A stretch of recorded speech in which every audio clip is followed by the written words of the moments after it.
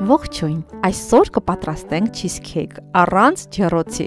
ամենապարզ եւ հեշտ տարբերակով։ Գրեք անպայման մեկնաբանություններում սիրում եք cheesecake, թե ոչ։ Դա շատ հետաքրքիր է ինձ։ Իհարկե, բաժանորդագրվելուց եւ տեսանյութի տակ լայք դնելուց հետո։ Ես սպասում եմ։ Սկսենք պատրաստել մեր cheesecake-ը խմորի համար 4 թխվածքաբլիթ պետք է օգտագործենք, մոտ 500 գրամ ցանկացած ապրանքանիշի 4 թխվածքաբլիթ կարող եք վերցնել, կարող է լինել շոկոլադե, առանց շաքարի, ինչ որ կգտնեք մոտակա խանութում։ Այն պետք է մանրացնենք, փշրենք։ Դա էլ արդեն ըստ ձեր հարմարության պետք է մանրացնեք։ Կարող եք գրտնակով մանրացնել, սրբիչի կամ զիպ տոպրակի մեջ լցրած։ Եթե ունեք բլենդեր, ապա ավելի արագ եւ հեշտ այդ հարցը կլուծեք։ Ալյուրի չափ մանրացված զանգված պետք է ստանանք։ Ահա այսպիսի։ Լցնենք այն մեր տարայի մեջ։ Կարակը համեղ ընտրեք անպայման, քանի որ ջրոցում ջերմամշակում չի անցնելու, ուտելուց անմիջապես իր համն եք զգալու։ Պետք է օգտագործեն 200 գրամ կարակ, իհարկե հալված վիճակում։ Հալեցնում ենք կամ միկրոալիքային վառարանում, կամ գոլորշու վրա, եթե չունեք միկրոալիքային վառարան ձեռքի տակ։ Հալված կարակն էլ պետք է լցնենք մանրացված թխվածքաբլիթների փոշու վրա եւ խառնենք։ Այժմ այս զանգվածից պետք է շրջևավորենք։ Իմ տապակի տրամագիծը 26 սանտիմետր է։ Եթե ձեր տապակի տրամագիծը ավելի փոքր է, թխվածքաբլիթը ավելի քիչ վերցրեք։ Գթալով հավասարացնելը բավարար չէ։ Հարկավոր է բաժակով կամ որևէ հարթ մակերեսով լավ նստացնել մեր խմորի շերտը։ Լավ հարթ է,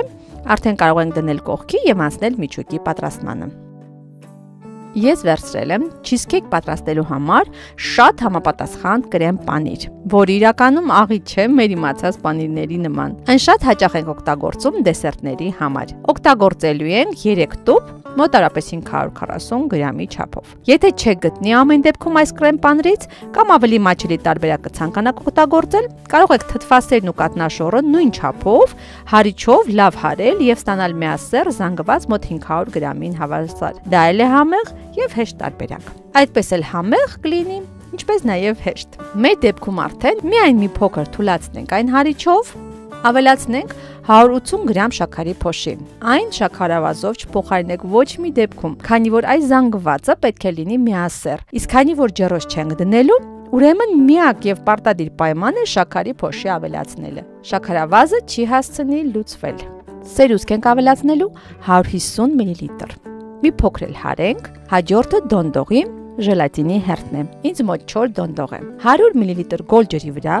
ավելացնելու ենք 2 թեյ գթալ 20 գրամ մոտավորապես փոշի դոնդող։ Լուծենք այն ջրի մեջ, թողնենք մի կողմ, որպեսզի հասունանա։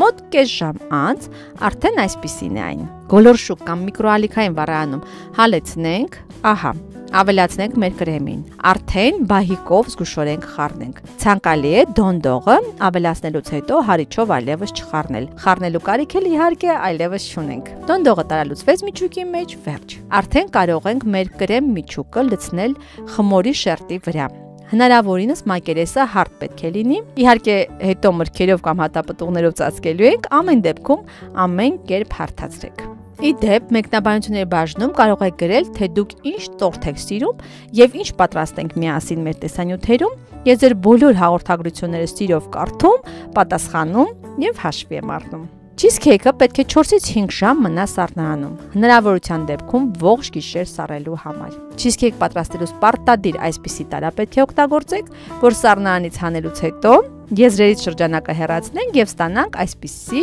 գեղեցիկ պատկեր։ Cheesecake-ը զարդարում են սեզոնային հատապտուղներով, մրգերով, նանայի տերևներով կամ ընդհանրապես կակաոյի կամ շաքարի փոշի վրա մաղելով։ Նուրբ, թեթև, գեղեցիկ տորտ ստացանք, այսինքն cheesecake, անգամ առանց ջեռոց օգտագործելու։ Նույնիսկ երկար էլ չչարչարվեցինք։ Արժե առաջի կառիթի համար նման թեթև եւ համեղ նորույթ մատուցել ձեր հյուրերին։ de Inch, Bari, Ajorsak.